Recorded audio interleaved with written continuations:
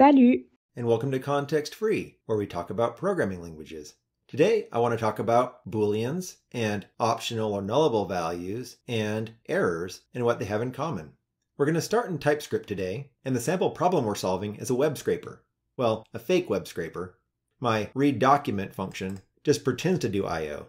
It looks for substrings inside the URL it's supposedly loading, and then acts differently based on that.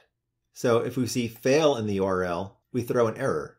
And by using this convenience function here, I can use it as an expression in my question mark colon chain. If I try to throw an error like this, as I'm doing in my other function, I now have a compiler error because throw isn't an expression. If I wanted to use throw directly here, I'd have had to separate it into separate condition and not part of this whole expression. And if we don't have an error, then we get a document back. A document has an optional head, a head has an optional title. And so in this case, we don't have a head at all. In this case, our head has no title. Here we have an empty title, and otherwise we get a title with actual text in it. And note here that our throw error function has a return type of never, meaning that this never has any value at all. It doesn't ever exist. If this condition comes in here, then return never happens. So return definitely always does return just a doc. And given a document, we can make a summary of it, which just has the title or undefined if there had been no title, and OK for whether there was an error or not. And if we have a document, we have no error, so OK is true. Also, I'm taking advantage of the null coalescing dot operator here that's relatively new to ECMAScript. Without it, I could have taken advantage of the falsiness of undefined in JavaScript and done doc.head and doc.head.title, where it's okay to mix and match types here. And note that this question mark dot is a single operator. Meanwhile, I can also, for convenience, read and build a summary in a single call. Here I read a document and build the summary. But if there was an exception, I return a default summary instead, with an undefined title and OK of false. So here I can have a pure function to process my data, and convenience functions with potential side effects. I can also make another kind of summary, which is simpler, that just says whether I have a non-empty title. But here I'm also allowing to say undefined in the case the title wasn't there at all and I take advantage of the falsiness of empty strings to convert the title to a boolean. And just like build summary, is title non-empty is a pure function, and I provide a separate convenience function of read whether title non-empty that does the reading and the very simple summary. However, read whether title non-empty allows any exception in readdoc to propagate, unlike read and build summary that gave a default value instead. This isn't obvious in my function declarations. Then down in main, I run through a URL for each of the potential cases. I build a summary and print it. And I also print a version of the title that defaults to empty string in the case of undefined, using the logical OR operator. And for read whether title non-empty, because it's throwing, I need to catch the error case here. And I've chosen to print the same kind of message either way, but just print the error where the title assessment would have been. And then, just like I coalesced the potentially undefined title into a string, here I've condensed the potentially undefined or error into whether we had a non-empty title. And in the error case, it's always going to be false. So let's see what it does. For the document with a title, we get the title here, and it was okay. For the document with an empty title, we get an empty string, and it also is okay. For our missing title and missing head, we get the same behavior in each case, which is what we want to show that we've done properly. The title is undefined in both cases, but both cases were okay. And in the failure case, we have an undefined title, and we weren't okay. And instead of a designation of non-empty title or undefined, we get our error instead. But our coalesced titles are always going to be a string. Title of good, empty, empty, empty, empty.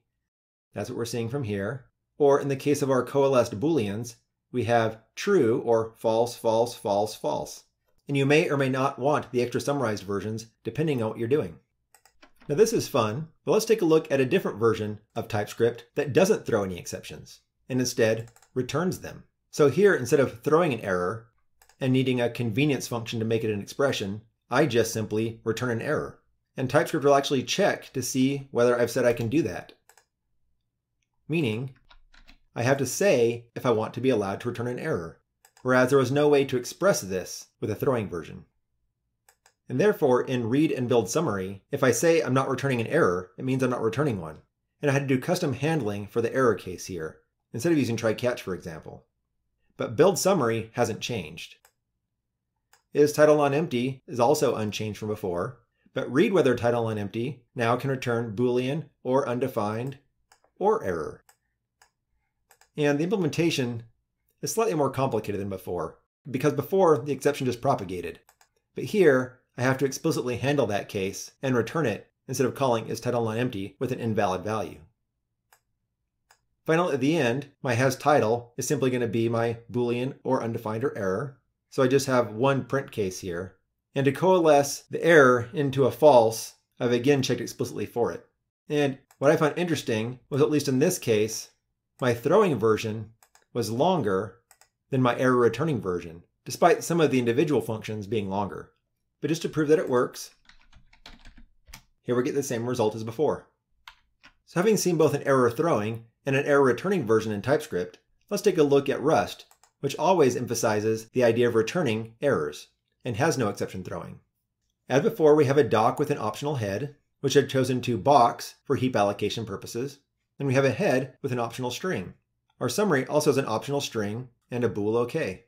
And for our error type, I've chosen to use a wrapped string because that was sufficiently convenient for my needs. But in any case, in Rust, a function that might fail returns a result type. And both option and result are different from what we saw in TypeScript. In TypeScript, something that might be undefined or not is still a flat value. And a value or an error is still a flat value in the sense that you just have a value and you can check what type it is as you want to. But in Rust, option is a structured enum type. If you have a value, it's always wrapped in the Some case. Result is also a structured type. And if you have your value, it's wrapped in the OK. But now instead of just none for the alternative, you have an error case, which also can store a value. So option and result are structured wrapped types that contain things inside of them.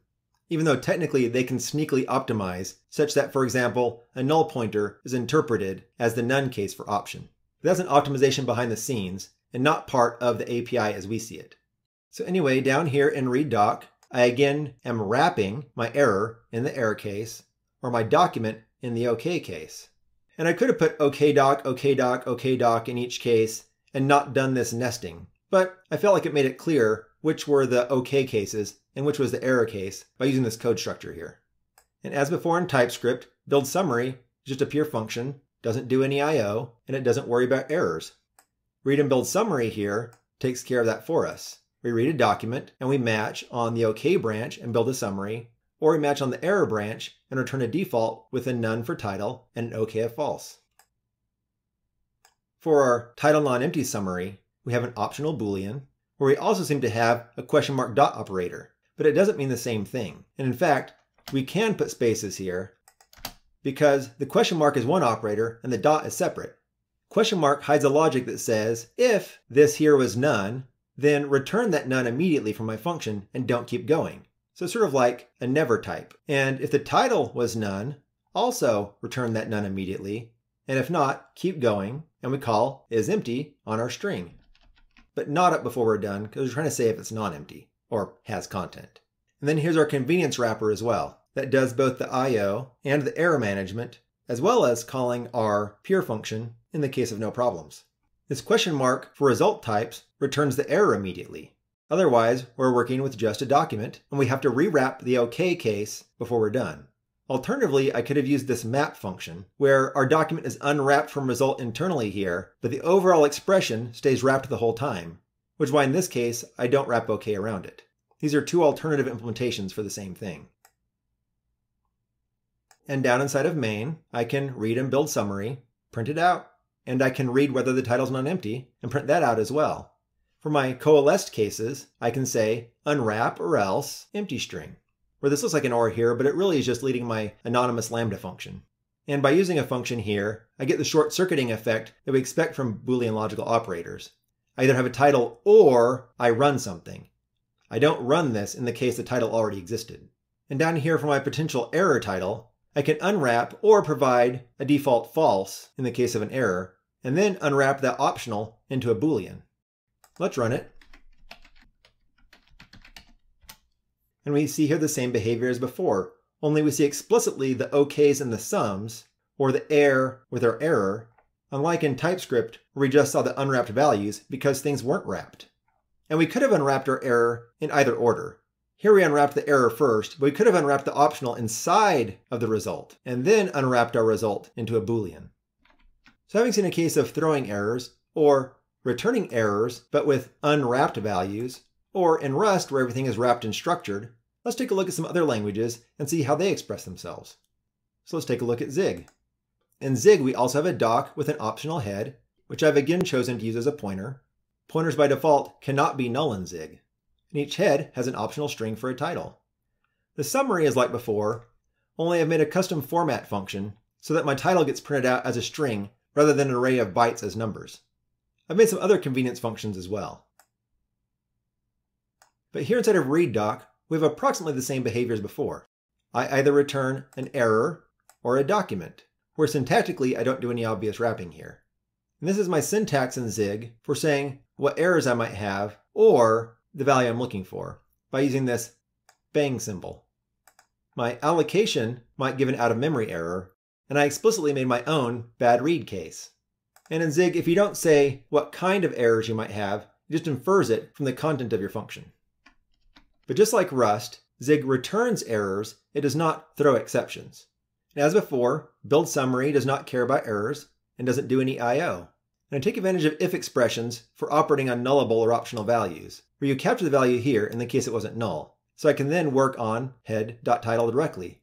Otherwise, if the head was null, my title is also going to be null. An alternative implementation is here in the comment, where instead of using the special null checking if, I've explicitly checked for the null, where I also have to use this question mark to assert that the head was non-null in order to get at my title. So, so far, three languages with question marks but they all mean different things. And read and build summary reads a document and provides an alternative value by using the catch keyword in case there was an error.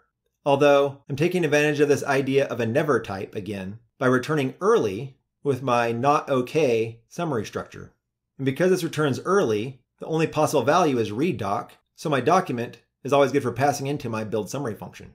Is title non-empty is also pure, and use the same structure for extracting non-null values.